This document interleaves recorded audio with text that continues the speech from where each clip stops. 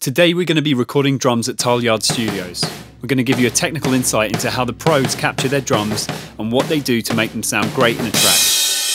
We're working today with Nicolaj Bjerre.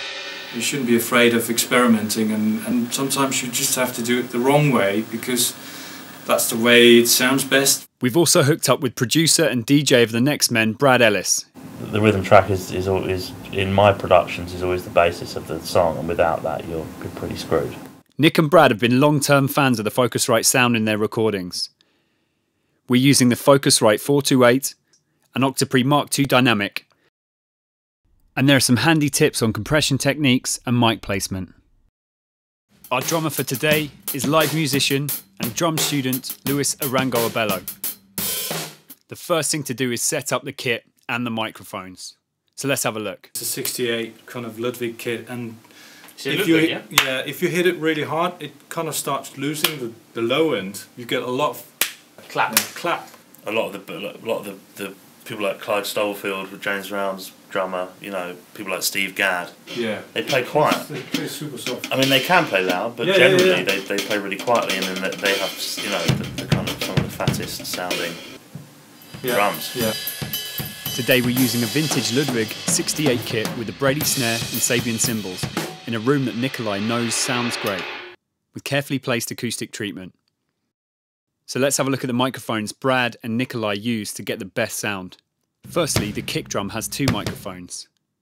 Inside the skin is an AKG D112, which adds a click and weight to the recording.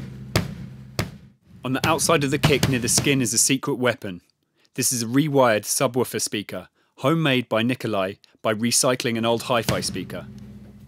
This adds a low end sub flavour to the kick recording. On the snare and both toms are Shure SM57s placed carefully so as not to get too much in the way of the drummer.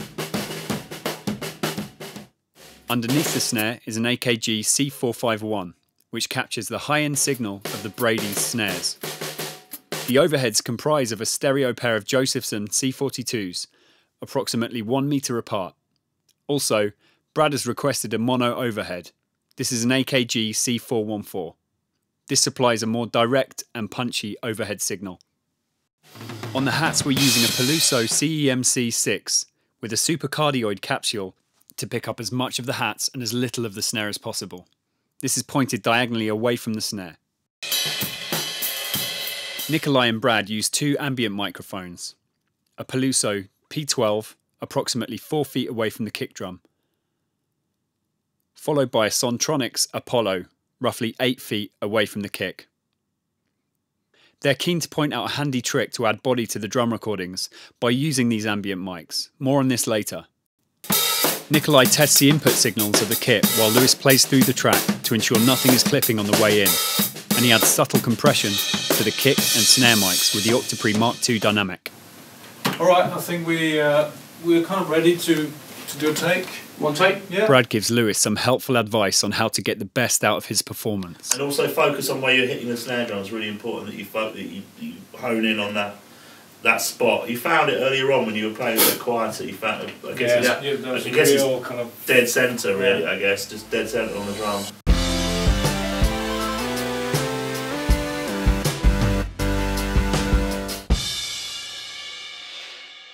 Playing a bit, playing a bit loud, playing a bit too loud. I'm playing a bit too loud, yeah? Yeah. Okay, okay. And maybe turn the level down of the Let's turn song. the level down. It was whacked up really loud, so Yeah, that's probably right.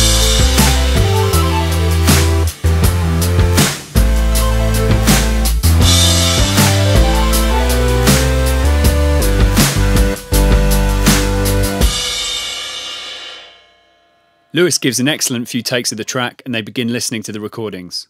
Nicolaj and Brad now give us another extremely useful tip on producing the drum sound to make it bigger and more present.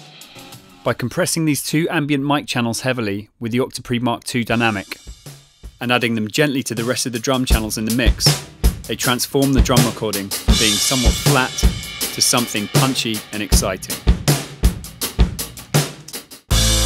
When mixed with the electronic track, it adds a heavier element to the session.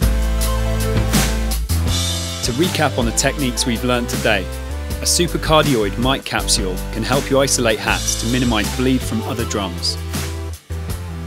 Two ambient room mics at different distances offer you more option to add in the acoustics of the room later. A rewired subwoofer adds a low subby tone to the kick. A mono overhead microphone can give you a more direct and punchy result. A reliable and transparent preamp will not colour the signal and compromise the session. By heavily compressing the ambient mics with the Octopre Mark II and adding optional distortion, you can add more weight to the recording. Adding compression to the kick and snare on the way in results in a healthy and warm tone. Love it, it's gone really well. Um, I think we've got a great sound, so I'm looking forward to chopping the drums up and making them sound good later.